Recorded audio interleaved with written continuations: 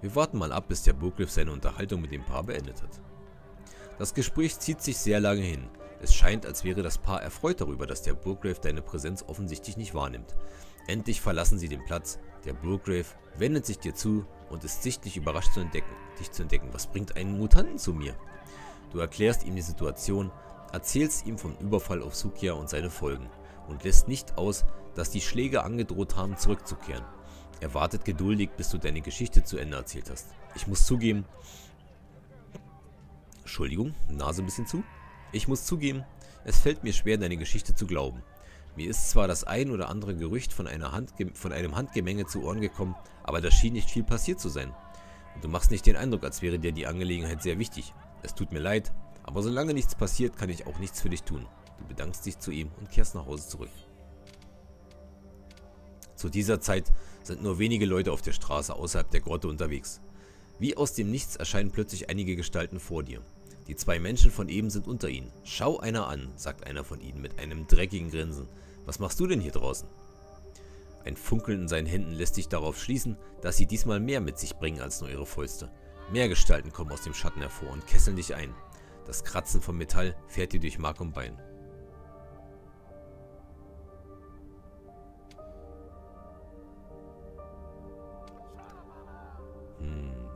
Ich habe gerade mit dem Gurgrave gesprochen. Tötet mich und er wird wissen, was Sache ist, um sich um euch zu kümmern. Sie brechen ein grausamen Gelächter aus. Glaubst du ernsthaft, derselbe Trick funktioniert bei uns zweimal? Der Burggrave sitzt in seinem Turm und du bist hier draußen, allein. Niemand schert sich um dich. Ohne Vorwarnung trifft dich ein Schlag von hinten. Rote Flecken verdecken deine Sicht, aber du hast nicht das Glück, ohnmächtig zu werden. Weitere Schläge hageln auf dich ein. Ein Schmerz wandert durch deine Rippen in deinen Brustkorb und in deine Beine. Er wird nur durch das grelle Schlitzen eines Messers in deinem Nacken beendet. Du hörst, wie ihre Schritte auf dem Untergrund der Straße ruhiger zu werden scheinen. Es beruhigt dich zu wissen, dass du ihr Ärger auf dich ziehen und die Grotte somit vor einem ähnlichen Schicksal bewahren konntest. Schön. Jetzt haben wir uns selbst geopfert und ich hoffe auch, dass das was gebracht hat. Do you think we could take a rest soon? This knee of mine is giving me hell. Maybe we should just put you out of your misery.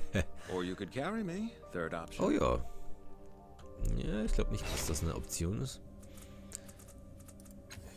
Tja, jetzt ist die Frage.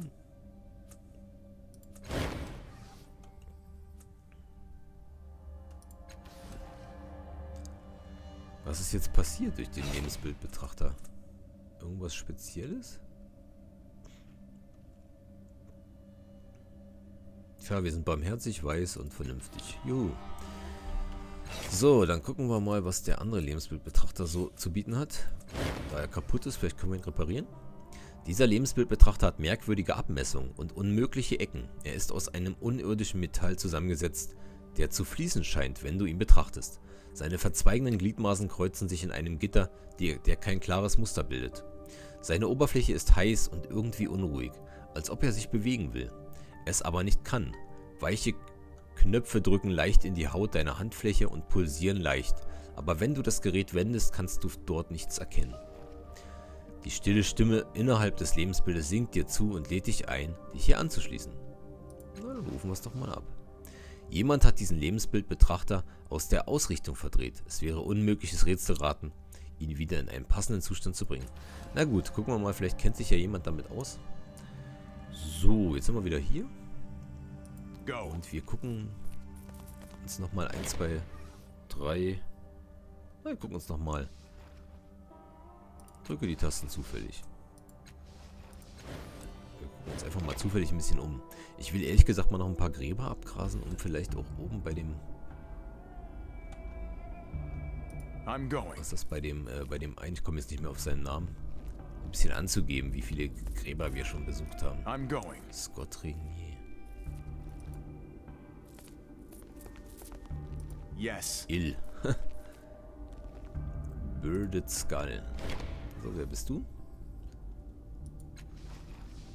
Muborg. Ready.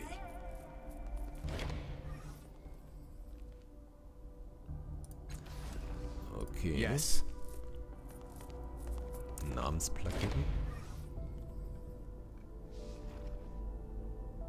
Na, machen wir mal Gehen wir doch mal... Ah ne, es geht ja nur... Aha. 1, geht nur von 1111 bis 5555. Okay.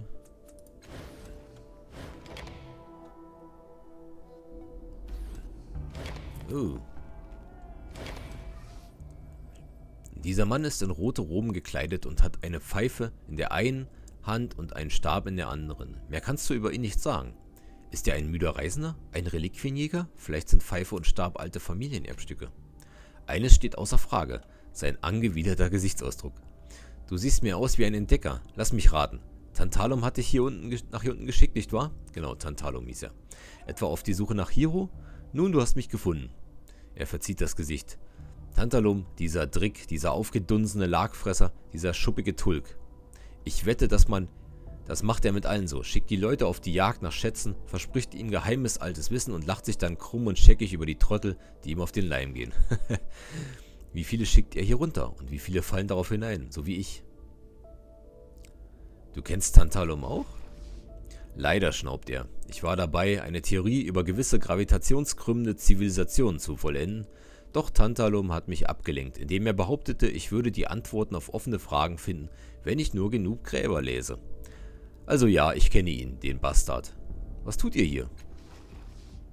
Ich bin Entdecker, Reliquienjäger, Theoretiker und nun offensichtlich auch der Mann, der wegen eines dummen Streichs dieses Kräftfressers Tantalum die von seinen Geldgebern gesetzten Fristen versäumt hat. Ich bin so ein Narr. Ach, lies einfach nur die Gräber, Hiro. Du findest schon, wonach du suchst. Bäh. Wie viele Gräber hast du gelesen? Nicht genug, wenn es nach Tantalum geht. Er lacht. Viel zu viele, wenn es nach mir geht. Hast du bei deinen Erkundungen etwas gefunden? Kräftsgist. Anders ausgedrückt nichts und nochmal nichts. Er hält seinen Finger hoch. Ganz stimmt das nicht. Ich fand diesen wertlosen Müll in einem Grab. Bestimmt hat es ein anderer Einfallspinsel, der Tantalum auf den Leim gegangen ist, dort verloren. Wertlos. Kannst nicht mal zerlegen und die Einzelteile verkaufen. Er wirft dir den Gegenstand zu. Hier, eine Erinnerung daran, nicht jedem alles zu glauben. Ein zirkulierender Lebensbildbetrachter. Ja, den gucken wir uns dann gleich an. Obwohl ich zugeben muss, dass ich zumindest etwas gelernt habe. Er verzieht das Gesicht. Und zwar, dass der Tod unvermeidlich ist und Tantalum ein Betrüger. Und dass der Tod immer näher kommt, während ich meine kostbare Zeit mit seiner dämlichen Aufgabe vergeugne. Hast du sonst noch etwas gefunden? Ja, gut. Wenn, dir, wenn mir Tantalum noch einmal über den Weg läuft, erfährt er am eigenen Leib, wofür Gräber gut sind. Dafür werde ich sorgen. er zieht zornig an seiner Pfeife. Weißt du was? Ich gehe ihn jetzt gleich suchen. Er macht sich auf den Weg, begreift, dass du mit ihm gesprochen hast und bleibt wieder stehen. Er dreht sich um. Entschuldigung, es ist ja nicht deine Schuld. Leb ebenfalls wohl. Und damit stürmt er endgültig aus dem Raum. Kalistek lacht leise. Alligern würde diesen Mann gern haben. Ach ja, Ali gern. Was wird er jetzt gerade wohl machen? Saved the woman, loved the man, stepped in the herd and never woke up again. Oh, das hört sich ja irgendwie gut an. Jennifer Ambral. Das sind auch alles nur... Monsieur Michel. Oh, die Französin? Yes. Stefan Groot. Now. Rödum. Derek Henderson. Yes. Ja, das hört sich ja fast normal an. Juh, geben wir mal den, den höchsten Code ein. Und zwar 5, 5, 5, 5. Jawohl.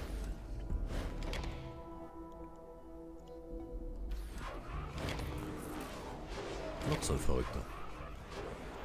Du triffst erneut auf den seltsamen Humanoiden, der sich Silver nennt. Er wirkt jedoch anders, aufgebracht. Mehr Gräber, mehr Tantalum, mehr Sucher. Unter seinem ruhigen Ton brodelt Frustration. Muss suchen, muss wissen. Das Wesen dreht sich um und schlägt wiederholt mit dem Kopf gegen die Wand des Grabes. So nah dran. Überhaupt nicht nah dran, muss mehr finden. Geht es dir gut, Silver? Silver, ein Sucher, ein Fluch, eine Frage, die eine Antwort sucht. Besessen, sie zu finden. Soll das heißen, du bist mit einer Art Fluch belegt? Ärger, Luft, Staub, Wissen, Verzweiflung. Silver zappelt und zittert. Offenbarung, offenbaren sich nicht. Keine Momente der Inspiration. Aus seiner Stirn quillt ein Tropfen einer öligen Flüssigkeit hervor. Aber ich muss weitermachen. Wovon redet ihr? Ein Mensch. Ein zwischen Zeit und Wissen zerrissener. Ein Mensch? Ja, kein, kein Konstrukt, keine Hülle. Ein Geist in einer Hülle. Hat Tantalum dir etwas angetan? Nein, Tantalum. Er ist der Entsender, der Geber, der Sterbliche, der Geheimnisse kennt. Er vergibt Aufgaben. Silver wirkt desorientiert. Er zappelt herum, als würde jemand anders seinen Körper kontrollieren. Er hat mich in diese Richtung gesetzt. Ich hatte keine Wahl. Ich muss es bis zu ihrem Ende durchverfolgen. Silver hält die Hand hoch. Nein, stopp. Zu viele. Fragen. Der Drang wird größer. Muss neues Grab finden. Er hält sich den Kopf. Gefangen in Zahlen, gefangen in Primform, durch Differentiale rollend imaginär im Wesen. Muss Grab finden. Er hält hinne und reißt sich zusammen. Seine Stimme ist nun ausdruckslos und neutral. Ich muss los. Wie kann ich helfen? Etwas in deinen Worten oder deiner Art durchbricht die Gelassenheit auf Silvers Gesicht. Tantalum, flüstert das Wesen. Tantalum hat mich hierher geschickt. Den Gräbern zu folgen, das Geheimnis zu finden, das mich erlösen wird. Silver schiebt dich zur Seite und stapft davon. Ach Mist, jetzt hätten wir mal fragen sollen, wohin er davon stapft. I'm ready. Ed. O'Neill? Wahrscheinlich nicht. Tiberius I'm Rose. going. So, wir geben einen anderen Code ein. Und wir nehmen diesmal die 2... 2... 2... Und 2.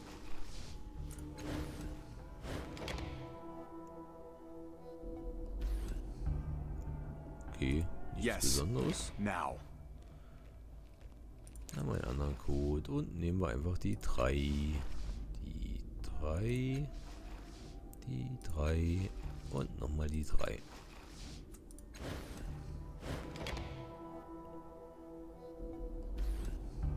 Also zwei arme Teufel haben wir ja schon gefunden. Die sich hier mehr oder weniger verirrt haben.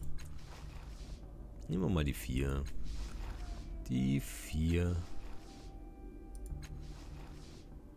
So.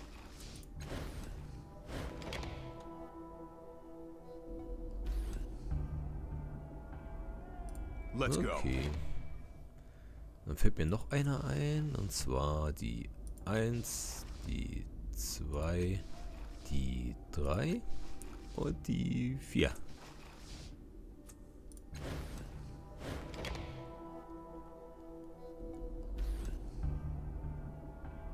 das Yes.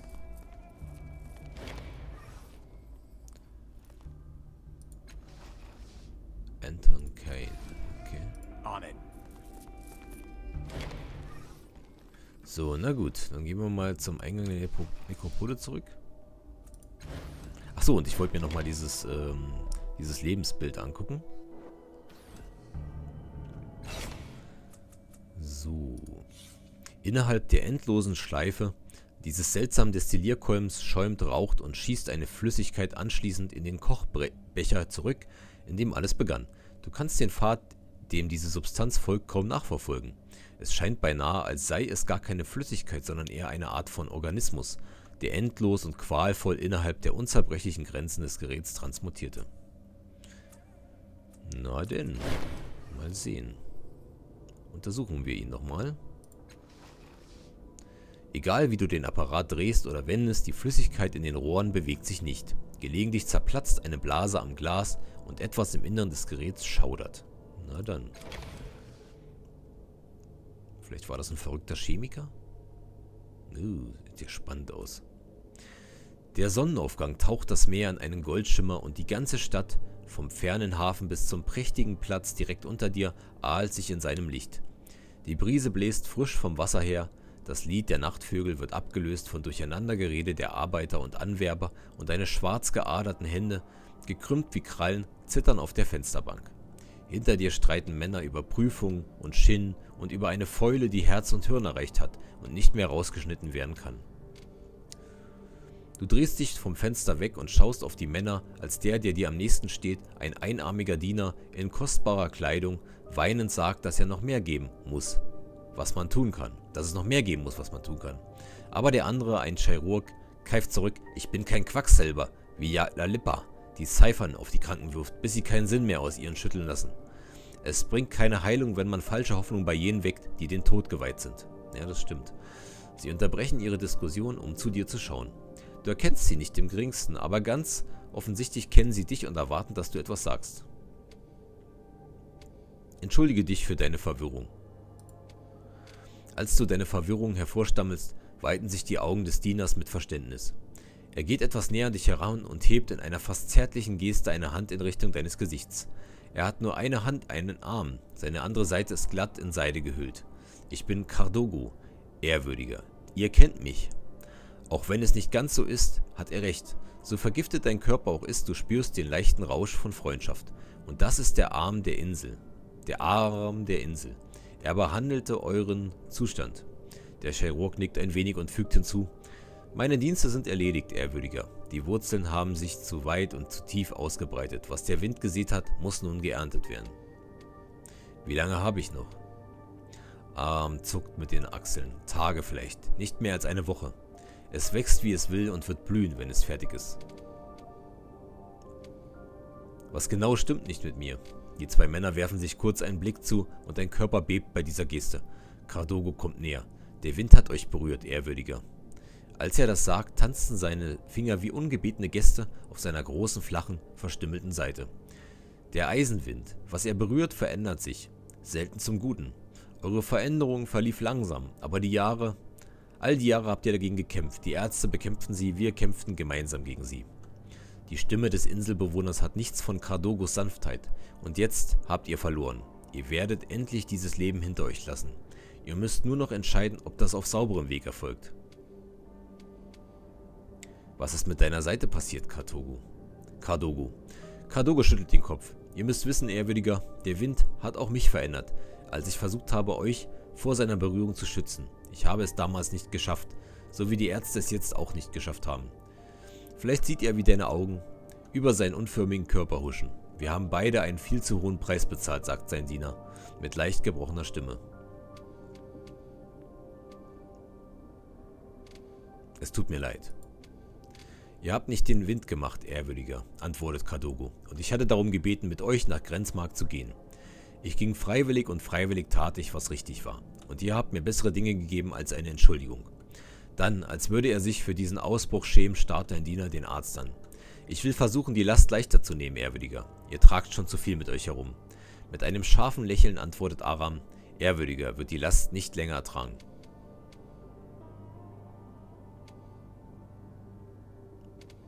Dann gilt es, Vorbereitungen zu treffen. Der Chirurg verneigt sich, sichtlich erfreut, dass du seine Worte vernommen hast. Dann geht er. Kadogo betrachtet, wie er geht und wendet sich dann dir zu. Es gibt viel zu tun, Ehrwürdiger. Aber ihr müsst ruhen. Ich lasse euch eure Mahlzeit zubereiten und ich werde eure Familie informieren. Er hält einen Moment lang inne, länger inne, ohne zu sagen, warum. Was er wollte oder erwartet hatte, bleibt unausgesprochen und als er geht, überkommt dich eine enorme Müdigkeit. Jenseits des Fensters ist die Sonne aufgegangen. Und das Meer ist wieder zu einem alten, zu den alten grauen Wellen zurückgekehrt, die an einen verschmutzten Strand aufschlagen. Hm. Interessant. Die Stunden der Ruhe haben dir keine Kraft zurückgebracht und die Mahlzeit liegt dir schwer im Magen. Cardogo pudert dein Gesicht mit einem Rouge, Rouge um die Blässe zu verbergen. Zieht dir Handschuhe an, verpackt dich in eine wattierte Jacke, die fehlendes Fleisch ausgleicht und die wachsenden Geschwülste verdeckt. Er wickelt und faltet und knüpft zu und schließlich reicht er dir einen Spiegel. In deiner zitternden Hand zeigt er nicht mehr als Fäule und Krankheit. Du siehst aus wie eine Leiche, die zur Bestattung vorbereitet wurde. Kadogo hat nichts verdeckt. Er kann nur deinen Zustand hervorgehoben, als Verschönerung, die andere nicht ertragen können. Sie warten, sagt er und führt deinen Stuhl nach vorne. Deine Augen wandern durch das Gesellschaftszimmer und landen auf der großen Karte, die die entfernte Wand bedeckt, den leuchtenden Resten von Kristall und Azurstahl, die in einer Ecke liegen, den Regalen voller antiker Bücher und dem lodernden Feuer an der Feuerstelle. Dann siehst du Männer und Frauen, jung und alt, und alle blicken auf dich erwartungsvoll.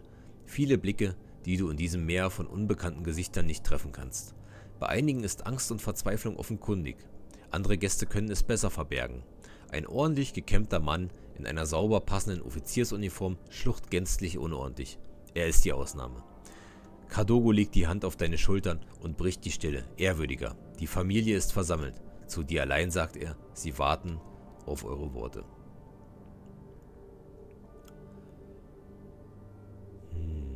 Versuche ihre Ängste zu lindern.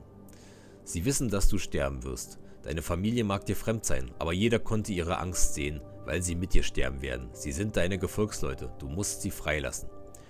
Du sprichst von deiner Schwäche und ihrer Stärke, von der Dunkelheit, der du dich stellst und den hellen Tag, die vor ihnen liegen. Du sagst, dass eine Familie per Definition aus mehr als einer Person besteht. Viel zu früh gehen dir deine abgedroschenen Worte aus und Cardogo geleitet die Menge aus dem Raum. Der Offizier besteht jedoch darauf zu bleiben und deine Diener und dein Diener gibt schließlich nach. Ehrwürdiger, euer Neffe Salva möchte etwas sagen. Er zieht sich in eine diskrete Entfernung zurück.